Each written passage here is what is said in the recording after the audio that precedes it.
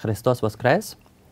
Today we have a privilege of welcoming in our studio, Zhyve TV, uh, two hierarchs from the Nordic countries, His Eminence Anders Cardinal Arborelius, Bishop of Stockholm from Sweden, and His Excellency Erik Varden, Bishop of Trondheim from Norway.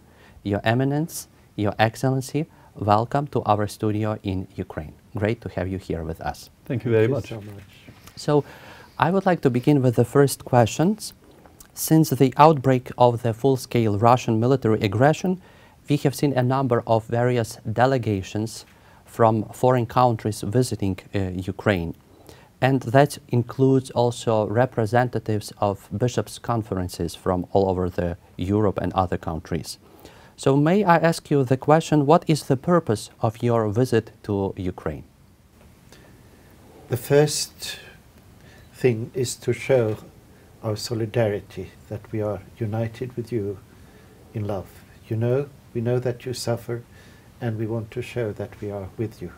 And we also have so many Ukrainians in our countries, so we know their needs, and we just want to show that we are brothers and sisters with you.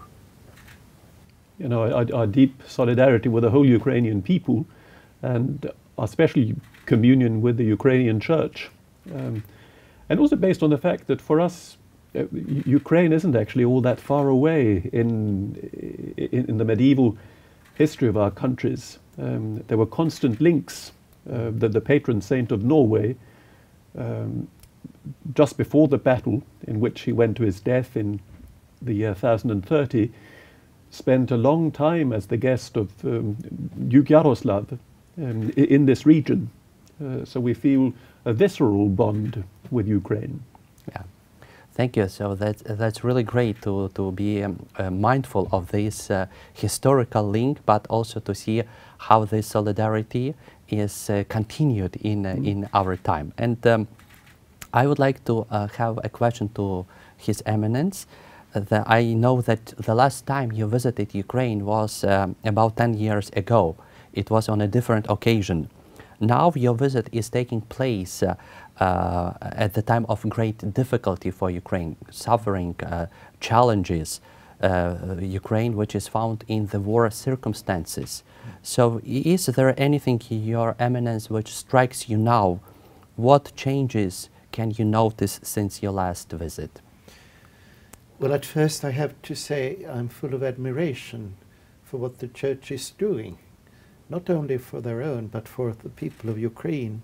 Everywhere we go, we see that the church is active to help, to feed the hungry, to take care of the sick and the elderly.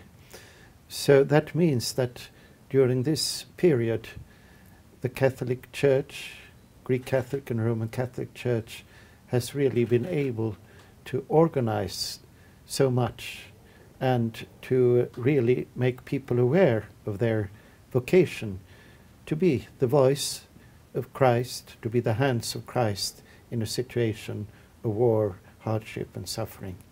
So we have to congratulate the church here for this wonderful growth in faith, hope, and charity.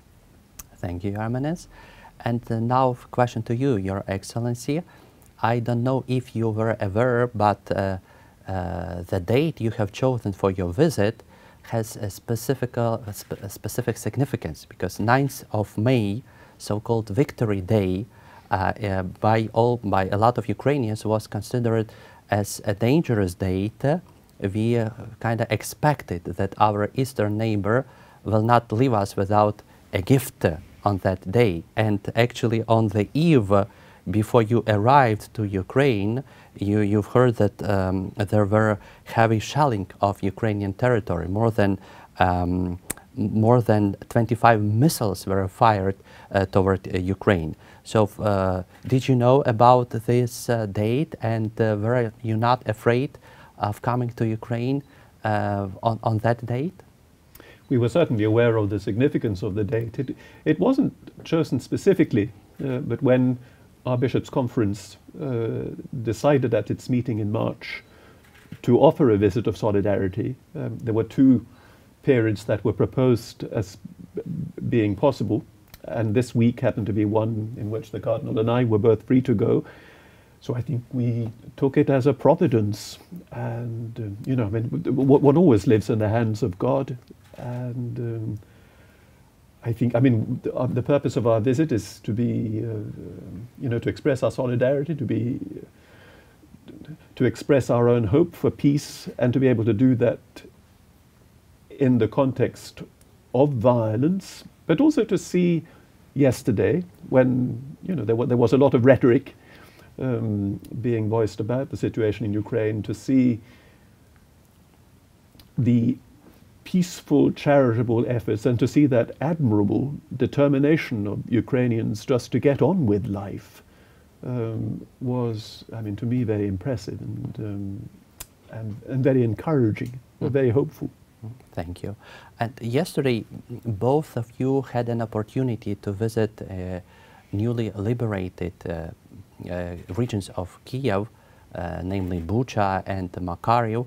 And um, you could see on one hand that uh, people are returning to their normal life, they are reconstructed the destroyed buildings, but on the other hand, you could have witnessed fresh wounds of the war, mm. right? So what were your impressions right after visiting Bucha and Makari? Could you share this, please?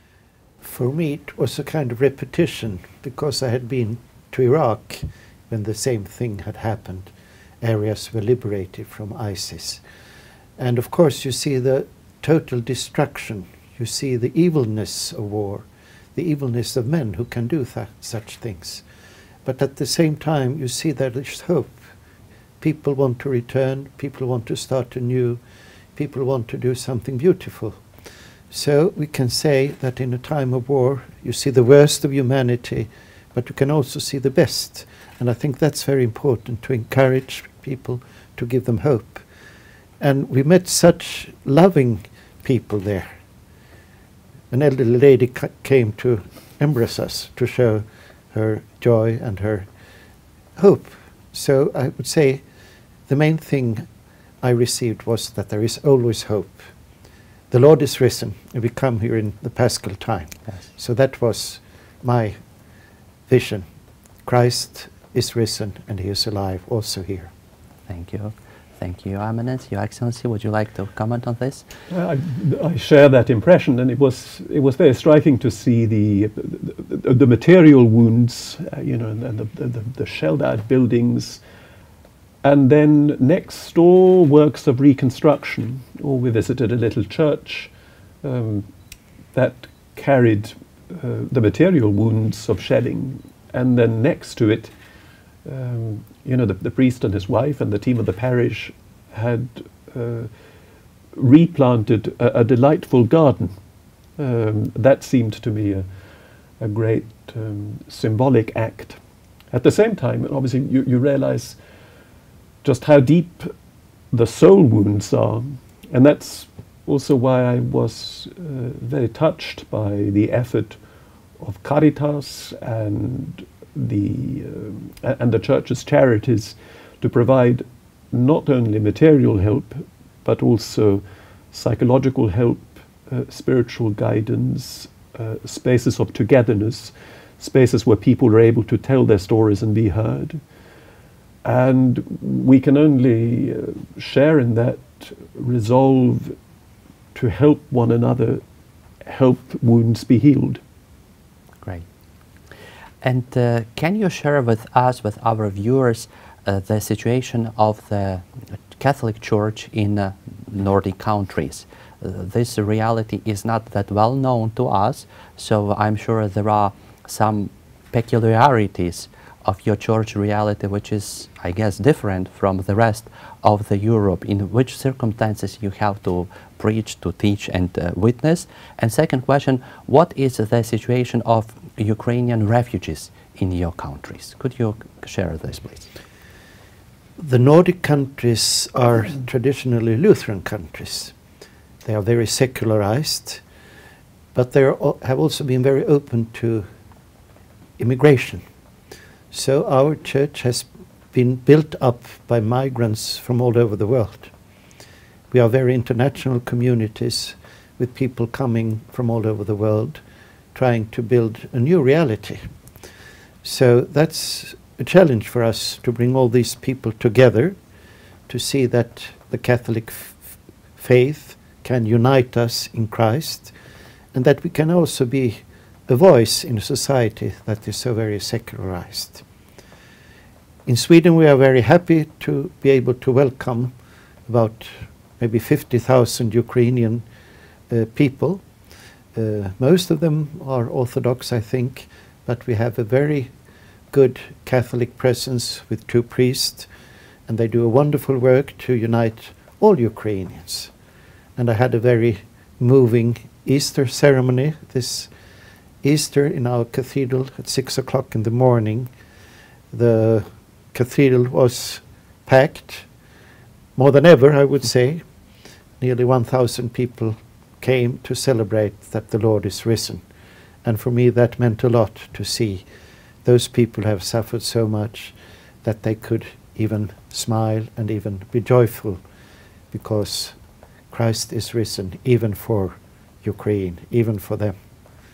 So our reality is very different, but still, I think uh, the Catholic Church in our countries can show us that it is possible for people of different origin to be united in the faith. Thank you. Your Excellency. Yes, ours is, is, is a small and in some ways a very marginal church spread over a vast territory um, with that totally un- improbable mixture of, um, of cultures and languages. Um, and I mean, as the Cardinal says, um, in some ways, it, it's, it's a kind of, it, it provides a, a laboratory of togetherness in a very globalized world. And I mean, I find to my astonishment that most of the time it actually works quite well, and people are very keen to build up something together.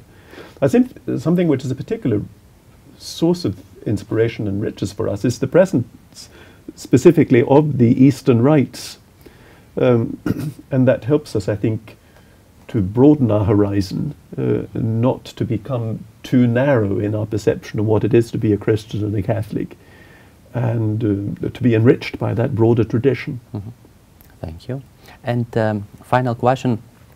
Your visit in itself is a sign of solidarity, as you mentioned, and also a gesture, a gesture of support. So, do you think is there a message that the church in Ukraine, in these dramatic circumstances, could deliver to the church in Nordic countries and vice versa? We came here to help, but we were helped hmm. to see this faith, to see this charity that is so alive here in Ukraine. So I would bring that message to our people that even in difficult circumstances, even in hardships and war, the faith, hope, and charity is stronger than everything else. That will be my message from Ukraine. I've also been very struck by that depth of prayer, um, by by this rootedness in an expression of, of faith which is beautiful, um, even in the middle of a war which is of its nature ugly, um, and by the depth of charitable commitment, um, and by that um, by that very grounded hope that in the long run, um, truth and charity and fraternity will win in the face of brute force, um, and that that hope is animated not just by human idealism, but really by faith in the continued embodied reality um, of, of the power of Him who has trodden death underfoot. And to, to meet that paschal testimony in these circumstances has for me been profoundly moving, and I will try to convey that um, to my brothers and sisters when I go home. Uh, certainly, this uh, uh, Paschal uh, message, Easter message, uh, uh, has been resounding during this interview. So I suggest that we finish our interview uh, to give uh, also a little bit of authenticity to your local traditions by saying Christ is risen Indeed, he is risen in your respective languages. Could you do that, please? Herren är verkligen uppstånden, halleluja. Kristus är uppstånden, han är sannelig uppstånden. Thank you very much for uh, being present in Ukraine, for visiting us, for your visit of solidarity, and also for being witnesses of witnesses of resurrection in these current uh, circumstances in Ukraine. Thank you. Thank you. Дякую. Дякую.